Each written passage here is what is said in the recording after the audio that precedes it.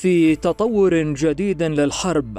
تبادلت كل من روسيا وأوكرانيا الهجمات الجوية بالطائرات المسيرة المتفجرة على عاصمتي الدولتين المتصارعتين منذ أكثر من خمسة عشر شهرا.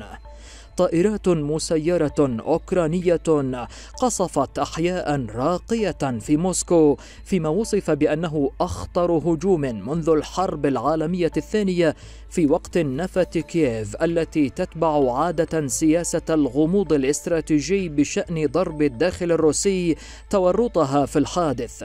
بالمقابل شنت روسيا التي تقصف مرارا المدن الأوكرانية بطائرات مسيرة هجوما عنيفا على كييف بعشرات درونز الطائرات المسيرة التي تطيل أمد القتال حتى اللحظة ومن فكت تقلب موازين الحرب المرة تلو الأخرى كيف ستؤثر على سير المعارك؟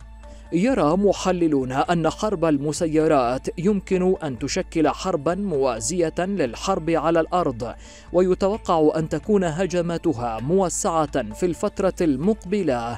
لا سيما أن لها صدى واسع ويمكن توجيهها عن بعد دون تكلفة مادية كبيرة أو تقنيات كبيرة أو خبرة عسكرية. ووفقا لمراقبين فإن استهداف موسكو بالمسيرات من جانب كييف أو عناصر داعمة لها يمثل نوعا من الضغط على السلطة الروسية كون العاصمة الحديدية باتت في مرمى نيران وانتقام كييف.